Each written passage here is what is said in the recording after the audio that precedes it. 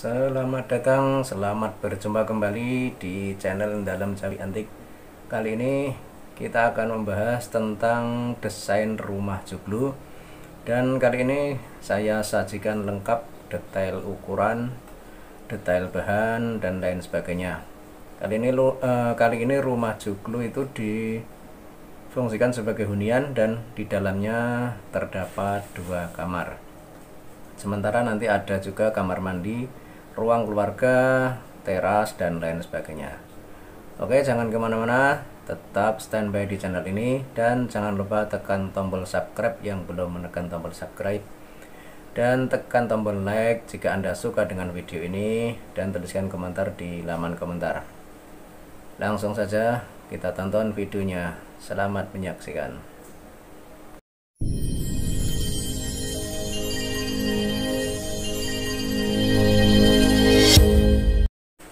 video ini sudah saya buat uh, sudah saya format ke bentuk PDF ya. Jadi nanti kita bisa lihat di sini.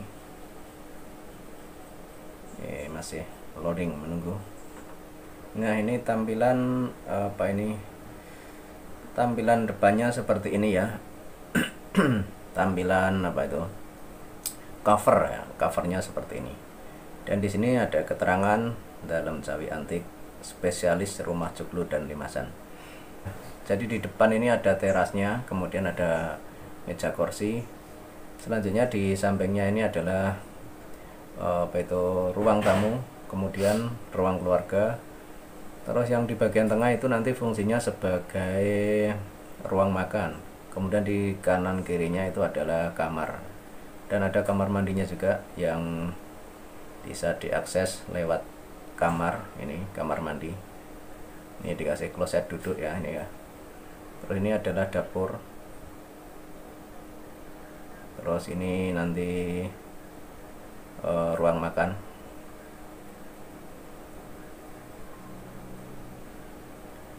Oke selanjutnya ini ukurannya. Bisa dilihat di sini. Jadi total luasnya itu 11 30 kali 8 30 ya. Untuk terasnya itu 200 kali berapa ini ya? 200 kali ini ya. 200 tambah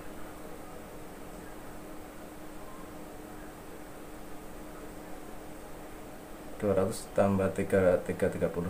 Berarti lima tiga puluh ya nih ya terasnya 2 meter kali 530 ya ini ya terus ruang keluarga dua setengah kali 530 terus kamar eh ruang tamu dulu ya. Ruang tamu ini 450 kali 200 terus ke belakang lagi kita lihat ini kamar nomor 2 yang kamar nomor satu yang sebelah kiri ini. Kita ke kamar nomor 2 dulu ini kamar nomor 2 itu luasnya 2 meter kali 2 tambah 24 2 meter kali 480 kamar satu juga sama. Oh ini udah ada ya. Ini 480 kali 2 meter. Terus ruang makannya 480 kali ini ya di depan ini ukuran kali 330 ya. Terus ini selanjutnya kamar mandi 2 kali 2 meter. Terus dapur 2 meter kali 430 kamar mandi 1 2 meter kali 2 meter. Terus di bagian depan ini ada tangga. Tangga ini maju ke depannya 100 cm oke. Selanjutnya kita ke bagian ini tanpa atasnya seperti ini. Ya, ini mirip seperti di cover tadi ya. Cover depan tadi. Kurang lebih sama cuman tampilannya kalau yang ini e, dua dimensi kalau yang tadi tiga dimensi. Selanjutnya kita ke as pondasinya. Nah, ini as pondasi seperti ini Pondasi dibuat 30 cm sementara apa itu tingginya ini dibuat oh nanti tingginya nanti di video selan eh, di gambar selanjutnya. Eh, nanti masuk ke situ. Ini keterangan saja. Ini yang bagian tengah ini adalah joglo.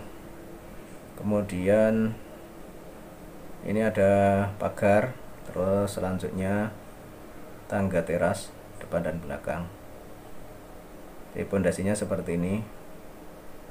Selanjutnya ini kerangka kerangka joglonya seperti ini ya. Ini pagarnya tingginya 1 eh, 100 cm atau 1 meter tingginya kalau lebarnya menyesuaikan. Terus ini blender pinggir 11 kali 12 kali 754 cm kemudian ini untuk tiang terasnya. Yang terasnya 12 kali 12 kali 200 cm selanjutnya blender teras 11 kali 12 kali 955 selanjutnya ini blender pinggir 11 kali 12 kali 955 terus tiang pinggir 12 kali 12 kali 270 terus blender pinggir 11 kali 12 kali 854 kemudian tiang utama 16 kali 16 kali 350 selanjutnya sunduk 8 kali 16 kali 362 terus ini yang tumpang sari. Ini tumpang sari luar baloknya yang paling bawah itu 8 kali 16 kali 362 terus atasnya itu ini yang posisi memanjang ya ini. 8 kali 16 kali 378 terus atasnya lagi 8 kali 16 kali 394 terus yang paling atas itu 8 kali 16 kali 410 sementara untuk suwunannya itu 8 kali 10 kali 142 terus tutur bagian atas tutur atas ini 8 kali 10 kali 314 terus tutur bawah itu 8 kali 10 kali 431 selanjutnya ini untuk tumpang sari luar yang posisi lebar. Kalau yang tadi posisi panjang. Posisi lebar itu paling bawah itu 8 kali 16 kali 262 kemudian atasnya 8 kali 16 kali 278 selanjutnya atasnya 8 kali 16 kali 294 kemudian atasnya lagi 8 kali 16 kali 310 terus ini untuk sunduknya itu 8 kali 16 kali 262 jadi untuk sunduk ini memang mengikuti tiangnya ya. Ini tiang menggunakan tiang 16 cm jadi bagusnya sunduknya eh, juga ukuran 16 cuman tebalnya itu nanti enggak 16 tapi dibikin 8 kalau di sini ya Oke udah jelas ya. Kalau ada yang belum jelas silahkan tuliskan komentar ya. Selanjutnya ini untuk tumbang sari dalam. Tumbang sari dalam posisi memanjang. Ini tumbang sari dalam ini ada dua ya kanan dan kiri tapi sama ukurannya.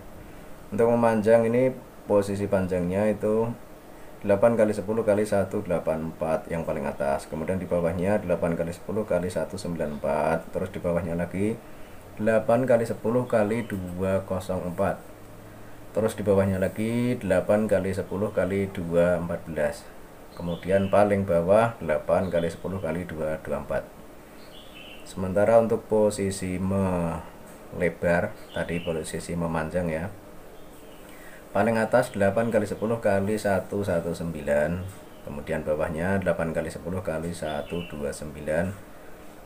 bawahnya lagi 8 kali 10 kali 139 nah, bawahnya lagi 8 kali 10 kali 149 terus paling bawah 8 kali 10 kali 159 jadi kalau tumpang sari dalam itu makin ke bawah itu makin panjang tapi kalau tumpang sari luar itu makin ke atas itu makin panjang. Jadi makin naik ya, makin naik kan otomatis bentangannya makin panjang juga. Dan di sini selisihnya 10 cm ya ini kalau yang di dalam ini ya. Ini 119 kemudian 129 kemudian 139 terus 149 terus 159 terus bagian atas ini dikasih papan di atas e, tumbang sari dalam ini. Selanjutnya ya ini tampak dari atas seperti ini ukuran yang tadi. Kita next saja. Nah ini depan ada kebioknya. Kita sebelah sini dulu ya. Jadi tep, eh, tinggi pondasinya itu 50 cm kemudian ada ompak ini ya di sebelah sini. Sebelah kiri ini aduh malah hilang tadi. Bentar. Oh ini ya. Jadi sebelah kiri ini ada ompaknya. Ya ompak ini untuk menyamakan dengan pondasi sebelah kanan. Karena ini untuk bagian teras ini lebih rendah daripada pondasi yang sebelah kanan yang di bagian ruang tamu dan rumah yang bagian belakang yang mulai dari ruang keluarga ke belakang jadi yang teras itu paling pendek. Ini 50 cm kemudian pondasi yang lainnya itu tingginya itu 70 cm kemudian di atas eh, di bagian teras itu dikasih ompak itu untuk menyejajarkan dengan pondasi yang lain. Kemudian atasnya baru dikasih tiang tiang teras namanya. Terus pagar pagar tingginya 1 meter atau 1,2 meter. Eh 1 102 lah. Ya 1 meter lebih 2 cm ya terus kemudian tiangnya tiang yang teras depan itu 220 ya. 220 itu dihitung sama pondasi. Eh sama ombak ya. Kalau dihitung dari pondasi yang lainnya yang 70 itu berarti cuman 2 meter ya. Karena ini selisih tinggi pondasi antara uh, teras dan lainnya itu uh, 20 cm ya. Selanjutnya sini bagian ini oh ini kebiok ya ini ya kebiok ada jendela. Nah, ini gawang pintu. Ada ini tinggi. Oh ya ini tinggi tadi yang belum. Tinggi tiang utama. Tinggi tiang utama itu tiga setengah. Kemudian tinggi tiang pinggir itu 270 kemudian tinggi tiang teras itu 2 meter. Kalau yang tadi sekali lagi yang tadi itu 220 itu karena apa itu? Karena umpak ah, karena tinggi lantainya itu berbeda dengan yang ini ya. Yang teras tadi kan lebih rendah jadi tambah 20 oke udah jelas ya. Terus ini untuk tinggi atapnya itu 242 ya.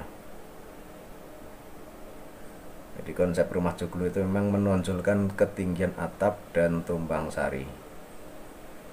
Ini ukuran sama seperti tadi ini oh ini bagian apa itu? Tangga depan ini oh, majunya 90 cm terus tinggi total itu 40 ini tampak samping kanan ya. Selanjutnya kita lihat tampak samping kiri. Samping kiri juga sama seperti tadi. Ini gebyok nah, ini gebyoknya ini oh, untuk jendela itu jendelanya itu tingginya tinggi daun jendela itu 100 cm kemudian lebarnya juga 100 cm tapi dibuat dua daun ya. Jadinya per daun itu 50 cm terus selanjutnya ini tampak belakang. Ya, tampak belakang hampir sama dengan tampak depan tadi. Cuman ini di bagian belakang ini karena ada e, kamar mandi makanya di bagian belakang ini dikasih glass block ya. Jadi kaca yang tebal itu untuk penerang nah ini glass eh, glass blocknya ini total panjangnya 120 cm kemudian Eh, lebarnya itu 20 cm terus ini untuk kebiok bagian belakang ini lebarnya eh, lebar daun pintu di bagian belakang ini 100 cm kemudian tingginya cuma 70 tidak 100 met, eh, tidak 100 cm karena ini tingginya ini berbeda dengan kebiok yang tampak sebelah kiri tadi ya ini lebih rendah lagi. Karena ini udah masuk ke uh, bagian seperti teras ya. Jadi tambahan teras. Jadi teras depan dan teras belakang. Kalau teras depan itu difungsikan memang sebagai teras atau tempat santai. Kalau teras belakang difungsikan sebagai dapur dan e, kamar mandi. Ini tampak usuknya atau kasau. Nah ini usuk yang paling depan itu panjangnya 213 kemudian ke atas itu 327 kemudian yang paling ujung itu 298 kemudian itu tadi yang posisi memanjang kemudian yang posisi melebar itu usuk bagian bawah itu 327 kemudian yang paling atas itu 277 untuk usuknya ukuran usuk itu sama ukurannya 5 kali 7 ini menyesuaikan karena tiangnya itu adalah uh, berapa tadi? 15 cm Oke sampai di sini udah jelas ya. Mungkin ada yang belum jelas silahkan ajukan pertanyaan uh, di kolom komentar. Dan dari saya cukup sekian. Nanti ada episode berikutnya karena ini durasi sudah 15 menit jadi kalau terlalu panjang nanti malah bisa bosan kita lanjut episode selanjutnya